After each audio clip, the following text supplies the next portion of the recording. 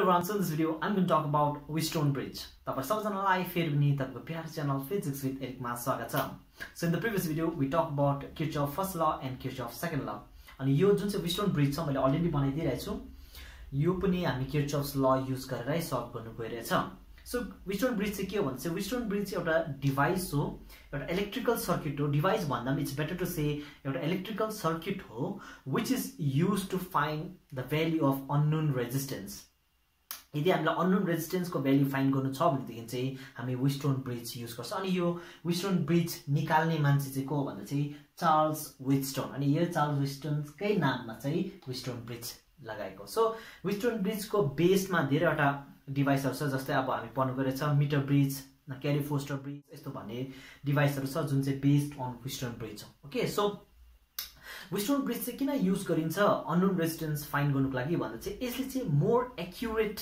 Value देखाउँछ। Okay अरू अरू मेथडहरू भन्दा पनि विस्टोन ब्रिज चाहिँ एकदमै एक्युरेट भ्याल्यु यसले के गर्छ? दिन्छ। सो त्यही कारणले हामी के गर्छ? विस्टोन ब्रिजलाई चाहिँ अननोन रेजिस्टेन्सको भ्याल्यु फाइन्ड गर्नुको लागि के गरिन्छ?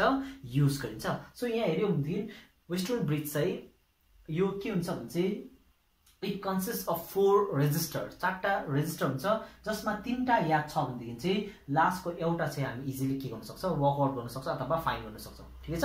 फर इक्जाम्पल मेरोमा छ अरे पिक्यु आरको भेल्यु दिएको छ भने हामी एसको भेल्यु निकाल्न सकिहाल्छ। सो अरू तपाईँले गाइड फलो गर्यो अथवा तपाईँले कुनै पनि बुक्स फलो गर्यो भनेदेखि यो एसको जग्गामा समटाइम यो फाइन एक्स अल्सो के सो एक्सले पनि अननोन रेजिस्टेन्स चाहिँ बताउँछ कि सो यसलाई भन्छ रेसियो रेसियो रेजिस्टर्स भन्छ।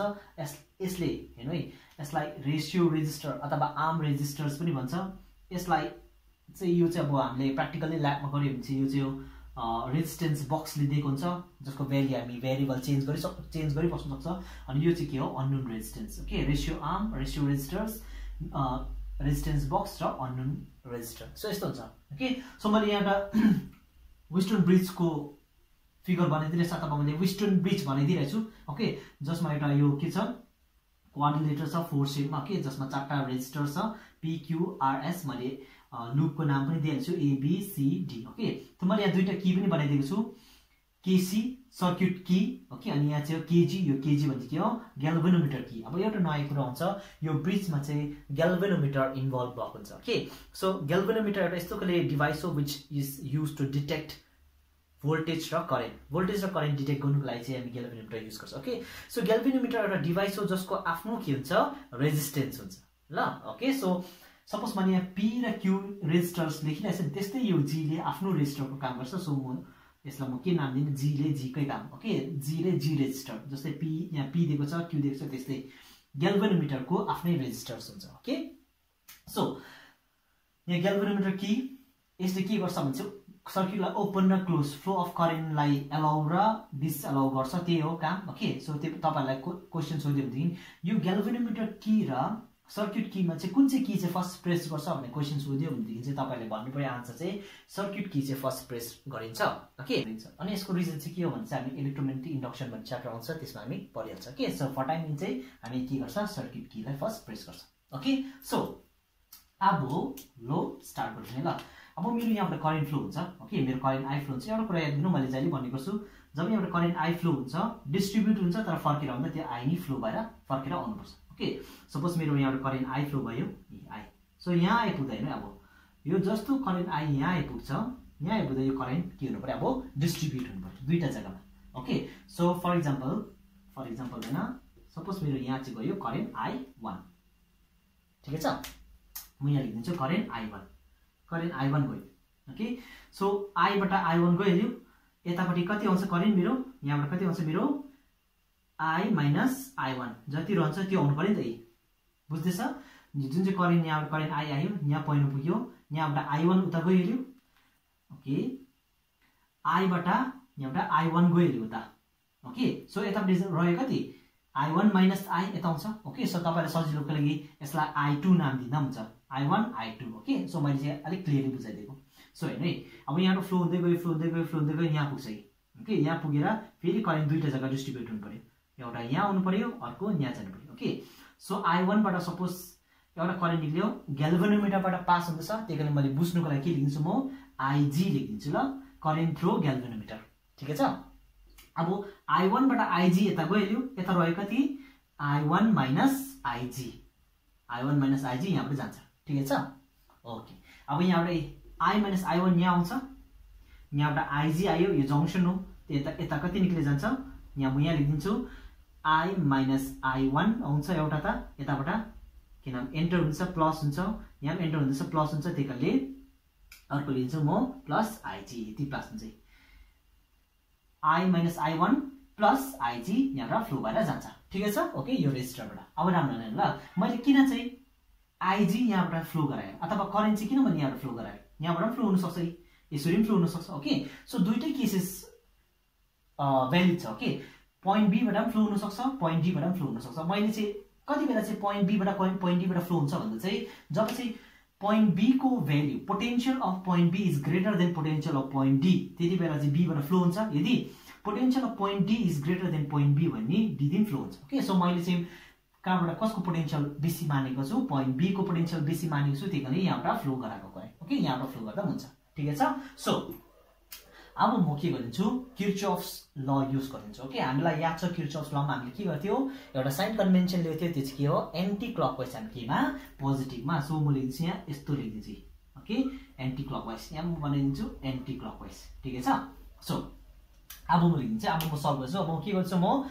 I am just finding the expression unknown resistance find गर्नुको लागि मेरो एक्सप्रेसन कस्तो हुँदो रहेछ अर एउटा कुरा तपाईँले याद गर्नु Kirchhoff's uh I'm sorry Wheatstone bridge जब हामी पढ्दै गर्छ त्यति बेला हाम्रो माइन्डमा के हुनुपर्छ भन्दा चाहिँ एउटा नयाँ टर्म आउँछ त्यो चाहिँ के हो ब्यालेन्स विस्टोन ब्रिज अथवा ब्यालेन्स कति बेला चाहिँ ब्यालेन्स हुन्छ यो ब्रिज चाहिँ जब चाहिँ potential at B potential at B चाहिँ equals to potential at D हुन्छ त्यति बेला चाहिँ मेरो के भन्छ the bridge is set to be balanced भनेर हामी के गर्छ डिक्लेयर गर्छ हामीले यो प्र्याक्टिकल गर्दा एक्सपेरिमेन्ट गर्दा हामीलाई एकदमै हामी के गर्नु यसलाई कन्फर्म गर्न सक्छ ओके सो अहिले चाहिँ माइन्डमा के भन्छ the bridge should be balanced okay unknown रेजिस्टेन्सको value find गर्नुको लागि the bridge should be balanced ठिकै छ?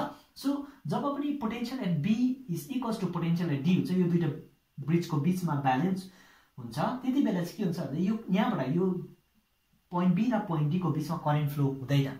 राम्रो याद गर्नु ल। When the bridge is balance अन्त ब्रिज ब्यालेन्सको कन्डिसन के हो? VB equals to VD okay so VB equals to V D भयो ब्रिज ब्यालेन्स बन्छ ओके सो ब्रिज ब्यालेन्स भयो भनेदेखि यो आममा के हुँदैन? करेन्ट फ्लो हुँदैन। भन्नुले चाहिँ I G equals to zero चाहिँ। करेन्ट फ्लो हुँदैन I G equals to zero कति बेला? When the bridge is balanced okay so ठिकै छ। सो लेट्स मुभ ओके अब चाहिँ म के गरिदिन्छु? किचअफ्स ल अप्लाई गरिदिन्छु है लु मैले एन्टी क्लकवाइज पोजिटिभ लेख्छु म यहाँ लेखिदिन्छु।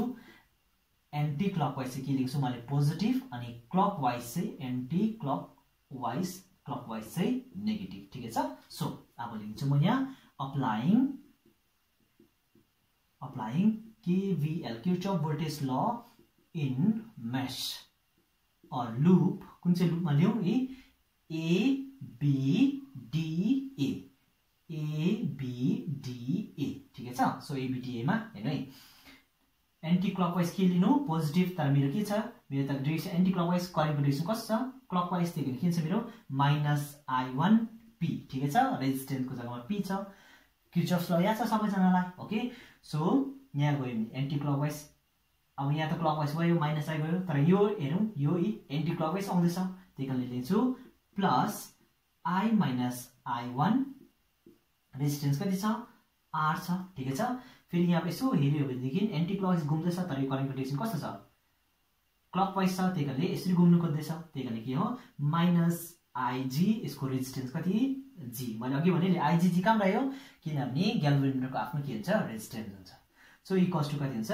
जिरो किन जिरो किनभने इएमएफै e छैन। सम अफ इएमएफ त गर्नै परेन। जिरो ठिकै छ? सो मैले यहाँ एकछिन के नमिलाएर म सिधा यसलाई म के लेखिदिन्छु? इक्वेसन वान लेखिदिन्छु ल म यसलाई इक्वेसन वान ठिकै छ? Similarly similarly similarly in loop or mesh अर्को लुप अर म्यास कति छ। बिसिडिबी बिसिडिबीमा म फाइल गरिदिन्छु है फेरि के हो? एन्टी क्लकवाइज अब होइन है। एन्टी क्लकवाइज चाहिँ आउँदैछ आउँदैछ आउँदैछ। एन्टी क्लकवाइज जाँदैछ जान्छ यहाँ एउटा क्लकवाइज एन्टी क्लकवाइज चाहिँ आइजिजी प्लस ठिकै छ है I minus I one plus I G बाहिरबाट एस ठिकै छ यहाँबाट फेरि minus I one minus I G के हो क्यु ओके अलिकति म यता लेखिदिन्छु ल। सो मेरो हुँदैछ। मेरो कस्तो हुन्छ I G G plus I minus I one plus I G S कहाँबाट आएको यहाँबाट आएको ठिकै छ? माइनस माइनस किन? किन मेरो एन्टी क्लकवाइज पनि छ यो तर क्लकवाइज छ त्यही कारण minus I minus I one okay I minus I G sorry I G Q equals to zero equation two ठिकै छ? अब मैले अघि नै भने भनिहाल्यो के हुन्छ the bridge should be balance अब म यहाँ लेखिदिन्छु when the bridge when the bridge is balance मैले अघि के भन्थ्यो? जब ब्रिज ब्यालेन्स हुन्छ potential at point B will be equals to potential at point D यस्तो लेख्दा हुन्छ। V B will be equals to V D यस्तो हुन्छ। अब भी भिबी इक्वल्स टु भिडी भयो भनेदेखि मैले के भन्थ्यो? यो आमबाट करेन्ट फ्लो हुँदैन। दियर फोर म लेख्छु therefore I G equals to zero हुन्छ जब ब्रिज ब्यालेन्स हुन्छ potential at point point B will be potential at point D will be equals to okay so त्यति बेला के हुन्छ भने चाहिँ मेरो यो ब्रिजबाट यो आमबाट करेन्ट फ्लो हुँदैन आइजी मेरो के हुन्छ जिरो हुन्छ। ओके सो अब आइजी जिरो भयो भनेदेखि यहाँको टर्मलाई यहाँ ल यहाँको टर्मलाई म के गरिदिन्छु जिरो पारिदिइहाल्छु यहाँ है यसलाई सल्भ गर्दा यसलाई सल्भ गर्दा हेर्नु है from equation one from equation one equation वानबाट के कस्तो हुन्छ? Minus I one P plus I minus I one R ठिकै छ? आइजिजी जिरो हुन्छ किनभने आइजी जिरो यो भ्याल्यु लेख्दिनँ इक्वल्स टु जिरो यो मेरो इक्वेसन थ्री भइगयो। ठिकै छ? अब इक्वेसन टूबाट फ्रम इक्वेसन टू ठिकै छ? इक्वेसन टू ठिकै छ? इक्वेसन टूबाट यो आइजिजी त जिरो भइहाल्छ। ओके? आइजिजी जिरो भइहाल्छ। अब यहाँ हेर्नु है। आइजिजी जिरो भयो भनेदेखि यो गयो। यहाँबाट आइजी जिरो सक्यो। यतापट्टि कति रहन्छ? आई माइनस आई वान बाहिरबाट एस किन आइजी आयो आइजी जिरो छ। माइनस अब हेर्नु। आइजी कति हो? जिरो सो क्युले कोसँग मल्टिप्लाई हुन्छ? आइसिङ मात्रै मल्टिप्लाई हुन्छ त्यही कारणले this one is I one कि? मैले आई मात्रै लेख्छु this one is I one I one so I one Q यो आई वान क्यु कहाँबाट आयो? ठिकै छ किनभने आइजी जिरो भयो। त्यही कारण I Q into I one equals to zero this my equation four ठिकै छ? ओके यहाँसम्म क्लियर छ? ओके सो क्लियर भयो भनेदेखि म यसलाई मेटाइदिन्छु ल। यसको अब केही काम छैन। यसलाई म सट्टै मेटाइदिन्छु नि। ओके। सो अब नेक्स्ट स्टेप मेरो के हुन्छ? नेक्स्ट स्टेप यहाँबाट हेर्नु है इक्वेसन थ्रीबाट है आई माइनस आई वान आरलाई यतै राखेर माइनस आई वान पीलाई उता पठाइदिनु के हुन्छ यो माइनस प्लसमा हुन्छ त्यही कारण यो माइनस प्लसको फर्ममा हुन्छ? उतापट्टि के बस्यो? I minus I one R बस्यो। ठिकै छ?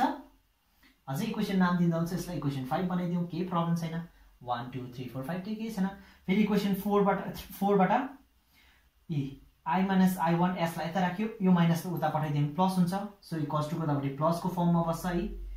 Q equals to I minus I one लेख्छु म? I minus I one S यो मेरो इक्वेसन सिक्स भयो ठिकै छ? अब यहाँ के गर्छु म? डिभाइड गरिदिन्छु है। डिभाइड गरिदिन्छु। ओके सो म यहाँ के भन्छ अब हेर्नु ल। यो बुझ्यो यो कहाँबाट आयो बुझ्यो? केही छैन यही क्वेसनलाई मैले मेनिपुलेट मात्रै गरेको माइनसलाई उतापट्टि माइनसलाई उतापट्टि प्लस फर्ममा लेखेँ। अब लेखिदिन्छु म dividing dividing equation five and six equation फाइभलाई six divide गरिदिन्छु। I one P by I one Q equals to I minus I one R by I minus I one S I one I one I minus I one I minus I one P by Q equals to R by S लु यति नै हो bridge सके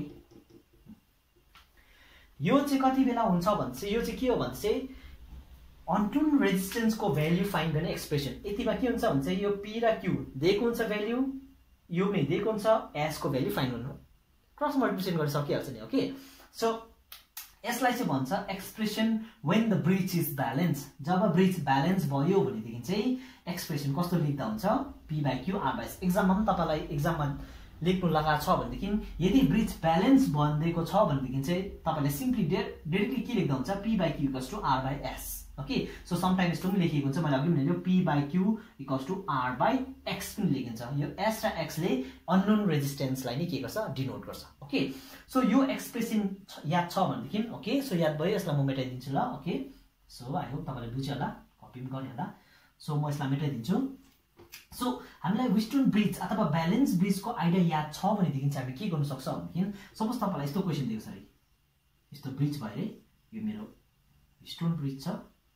okay यस्तो छ यो मेरो hundred Om भयो ओके यहाँ मेरो भयो टु ओम यो मेरो फोर ओम यो भयो मेरो फोर ओम यो भयो मेरो एट ओम यस्तो छ मेरो bridge okay so this is my P this my Q this my R this my S okay so भनिदिएको छ अरे तपाईँहरूलाई चाहिँ द ब्रिज इज ब्यालेन्स तपाईँलाई भन्दैछ अरे the bridge is okay bridge यो ब्रिज चाहिँ ब्यालेन्स छ कि छैन? भनिदिएको छैन तपाईँलाई फाइन गर्नु भन्छ अरे। यो ब्रिज चाहिँ ब्यालेन्स छ कि छैन? हेर्नु भन्छ भने चाहिँ हामी सिधै हेर्नु सक हेर्नु सकिहाल्छ। ओके त्यो चाहिँ कसरी भन्छ? मलाई यो एक्सप्रेसन याद छ नि। पी बाई क्यु गर्छु R by X bridge balance हुनुको लागि चाहिँ यो इक्वेसन के हुनु पऱ्यो बराबर हुनु पऱ्यो नि। भने चाहिँ म लेखिदिन्छु पी बाई क्युमा कति छ? टु बाई फोर छ इक्वल्स टु आर बाई एसमा कति छ? फोर बाई एट छ। भनेपछि one by two one by two भनेपछि कति? One by two equals to one by two अब हामी के भन्नु सक्छौँ? द ब्रिज इज ब्यालेन्स भन्न सक्छ। ओके सो फेरि यस्तो यो चाहिँ भयो एउटा क्वेसन ओके कति बेला हुन्छ यो ब्रिज ब्यालेन्स छ कि छैन चेक गर्नु भने चाहिँ हामी किर्चफ्स ल घुमाइबस्नु पर्दैन। सिधै यो एक्सप्रेसन याद छ यहाँको भ्याल्यु हेरेर सिधै भन्न सकिहाल्छ the bridge is balance or not यसरी निकालेर। ओके अब कोही बेला चाहिँ यस्तो छ अरे यस्तो दिएको छ अरे यस्तो क्वेसन दिएको छ अरे। अलरेडी तपाईँलाई भन्दैछ अरे क्वेसनमा द ब्रिज इज ब्यालेन्स्ड भनिदिएको छ भनेदेखि तपाईँले यो टर्म लिनै पर्दैन यो टर्म किन यो टर्मलाई मेटाउँदा हुन्छ हामीले? किन? किन ब्रिज ब्यालेन्स भनिदिएको छ? ब्रिज ब्यालेन्स भयो भने यो आमबाट करेन्ट नै फ्लो हुँदैन हामीलाई याद छ।